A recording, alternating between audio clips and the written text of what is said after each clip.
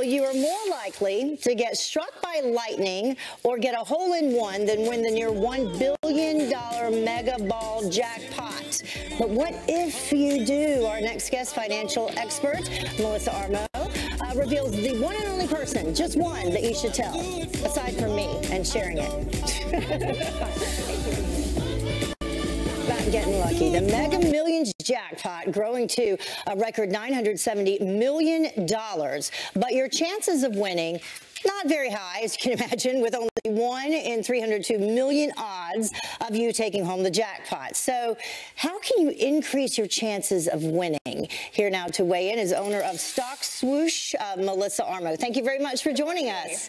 So the odds for winning the, the mega millions, the big jackpot, that's, you know, ridiculous. But there's also some smaller amounts that you can win as well. Sure. We'll have to see if anyone wins tonight. Mm -hmm. And if it doesn't, it's going to go into next week. And it could Crazy. even be over 1 billion, which would be really exciting. As of right now, it's just under that 1 billion and it's the second largest jackpot in history. Yeah, so let's take a look at, you actually have better odds at some of these things happening to you. Uh, an unprovoked shark attack, that's 1 in 11 million. Getting struck by lightning, 1 in 1 million. And then an average golfer sinking a hole in one, that's 1 in 12,000. I'd so rather win a billion dollars than any of those things. Anyone would.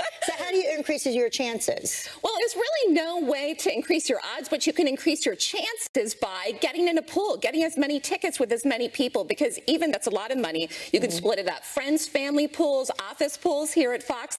That, that then you'll have a lot of tickets, and it's mm -hmm. just about you know trying to see if you can win. There's really no way to increase your odds. You just got to increase your chances. I was reading, I mean, because there's all kinds of people trying to give advice that if you buy, uh, say you say buy 10 tickets, go to different locations buying those tickets. It's really just you know? it's really just luck. Really, the people that win, it's really yeah. honestly about luck. Even if you were a mathematician and you tried to figure it out, I don't think it's random numbers. Well, and what about that? You know, picking your own numbers versus letting a machine pick the numbers because I've read that that is actually better to do as well. Well, I heard that, and I also heard if you play the same number, if you play the lottery on a regular basis, eventually a hit. But I'm really not sure if that makes a difference either. I really mm -hmm. honestly think that it's luck, and obviously someone could be a very lucky person tonight, particularly if it is one winner. Yeah, but the chances of it being just one ticket, one winner, it's actually a greater chance that it'll be a group, which is why you mentioned exactly. that off the top. You know what the most fun is from the time that you buy the ticket until it goes off, because you think and you dream about all the things you do with the money, all the things you possibly do to mm-hmm. change your life, but you really have to protect yourself the most that you can, if in fact you do win. And how can you do that? The ways that you can protect yourself. We can put some of your tips for people. Uh, keep a low profile if you possibly can.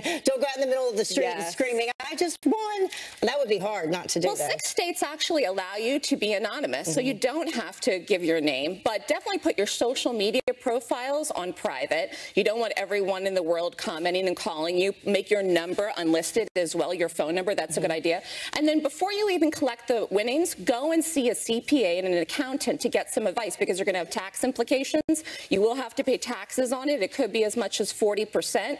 And also, before you go hog wild spending it, pay down debt. If you have a mortgage, if you have car loans, pay down any of that debt. And also, it's a great time to invest in the stock market. Yeah, but so that's a that lot too. of money. You got to have some fun with it too. A little bit of fun. Yeah. So the Mega Millions drawing is tonight at 11 p.m.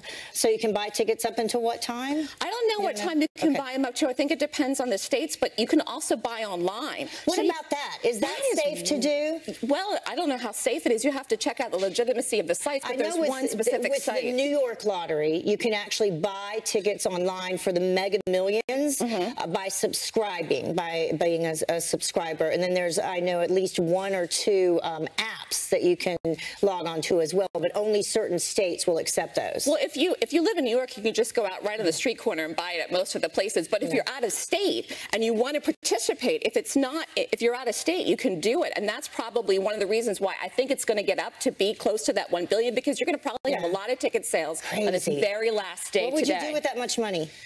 Gosh, what would I do? I would take a very long vacation. Think hard about it. Somewhere Go to Disney World. okay. Thank you so much for joining us. Thank you. Good luck. Thanks. All right, the time now is about six minutes until the top of the hour. Is honesty really the best policy? This brand new tourism campaign turning heads for telling it like it is. And social media is having a field day.